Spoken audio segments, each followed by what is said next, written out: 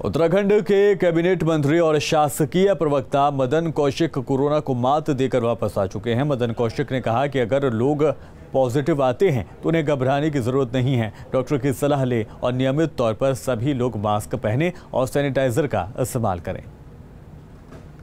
ये सही है कि जब मैं टेस्ट कराया और सिम्टोमेटिक रूप से था हल्का मुझे महसूस हो रहा था थकान।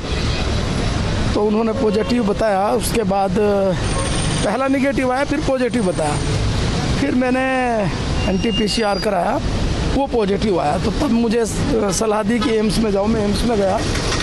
करीब चार पाँच दिन एम्स में रहने के बाद उन्होंने कहा कि अब आप घर जाइए और आइसोलेशन में आपको रहना है।